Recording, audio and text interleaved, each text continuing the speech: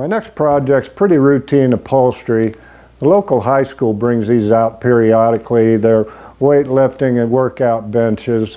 Uh, matter of pulling staples and changing out the covers. Need to be careful with these plastic panels. These seem to pull out of the wood pretty easily, but this, this plastic's pretty brittle in it and it will crack.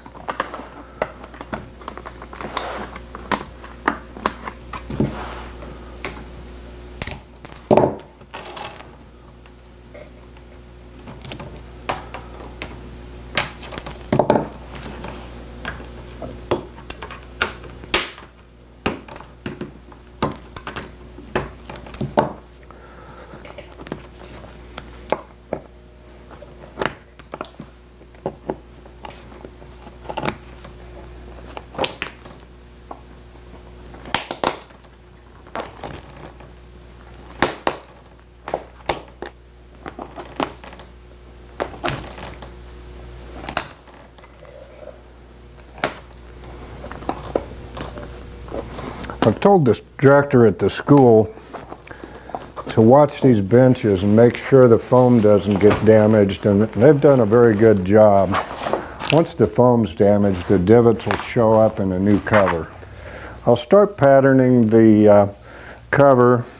Generally, the cover is one inch over the size of the, the uh, platform or the board. In this case, it uh, looks like we're at 10 measuring off of the original cover, it's an inch larger at 11. So we'll follow the same formula on length. 36, so I'm guessing this will be around 37. I'll start by squaring off the end of this vinyl.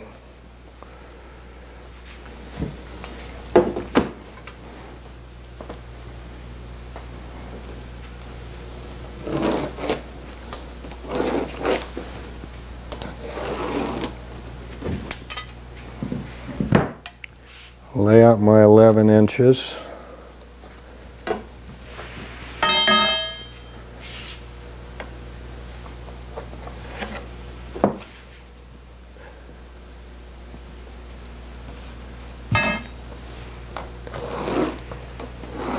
All right. Get my 37 here. I'll square it off.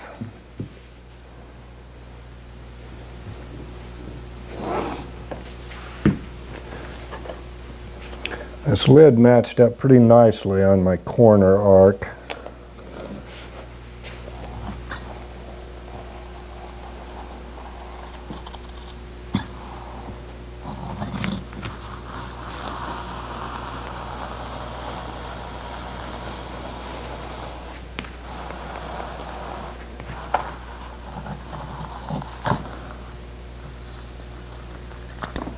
Okay, I need to lay out this strip of vinyl to go around the outside.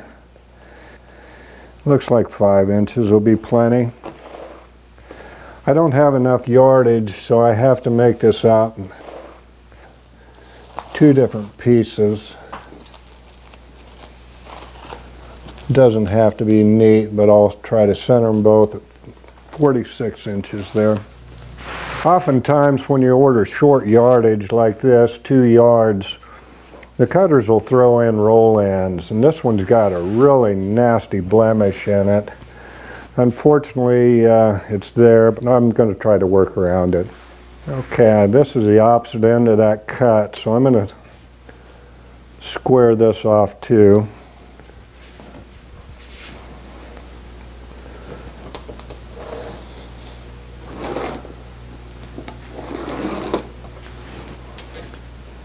I'm going to make a little allowance on these. I needed 46. I'm going to go 47 and a half. There's not going to be any degree of waste with that.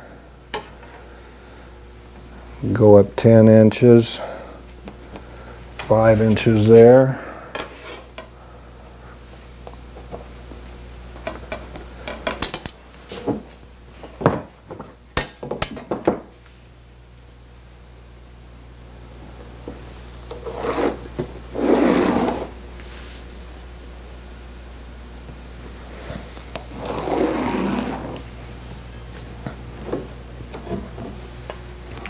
Always got to keep the end square.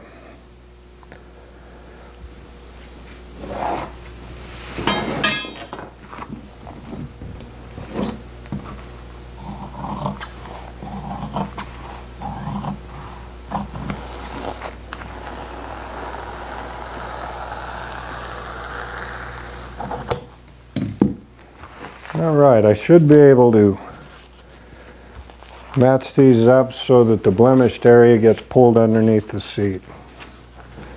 Start by folding this back and marking my centers on the end.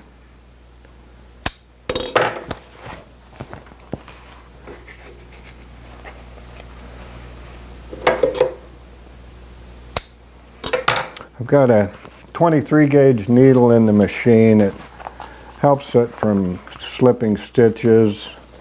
Use a light gauge in the fabric materials.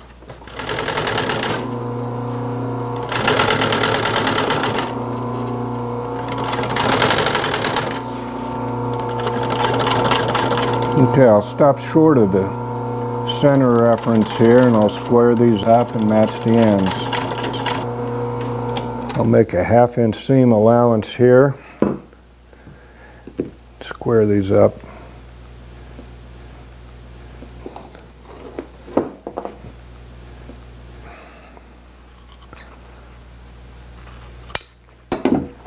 I'll match these up so that the blemished area goes to the bottom of this strip. It should pretty well pull underneath, be hidden.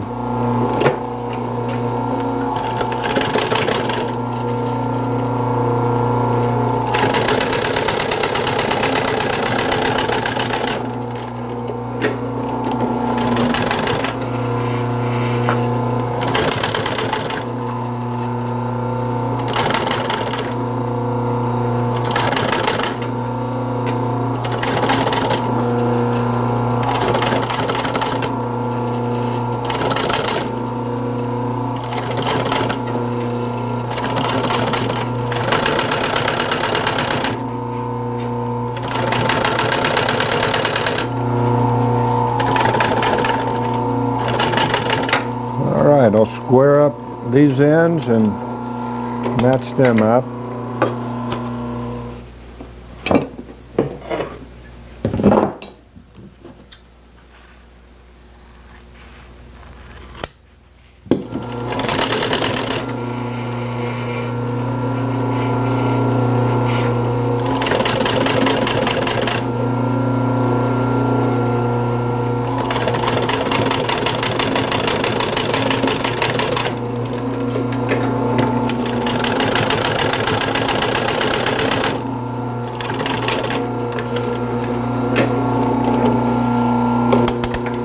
Okay, I'll increase my stitch size. And we'll do a top stitch around the out, outside of the seam.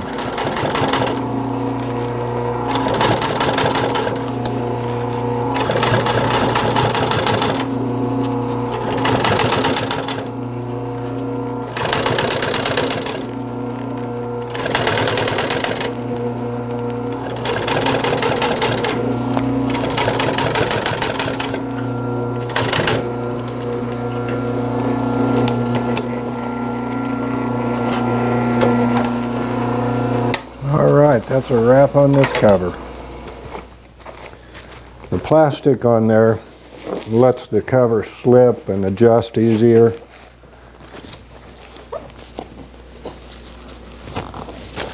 Try to line up these center, those centers.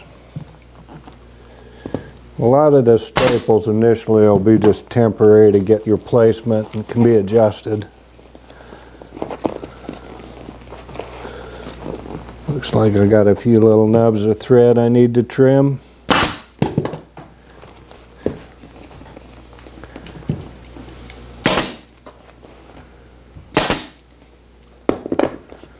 Okay, I'll see how this looks on top and palm the cover into place.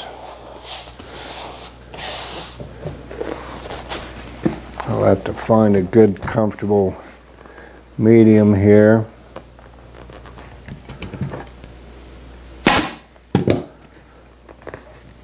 I'll flip this over to the other side and work a little back the other way.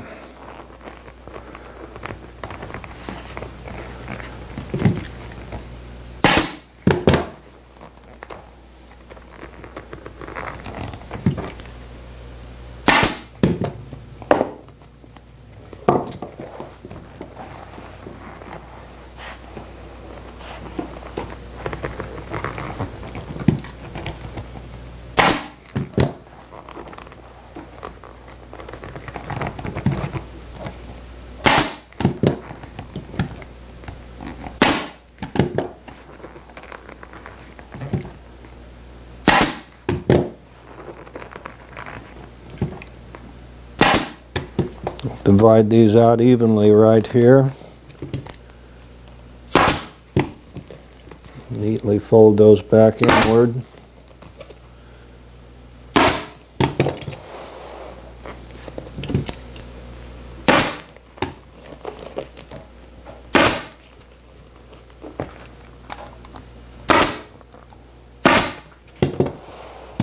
All right, I'll trim away this excess and put the plastic panel back on.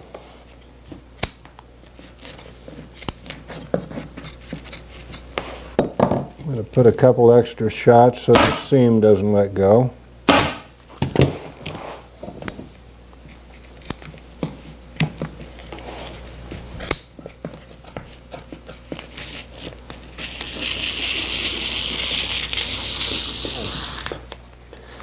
Looks as though this is already cracked. There's a metal plate that goes here. I've always warned my customers that this plastic could break. It looks like we'll get along okay.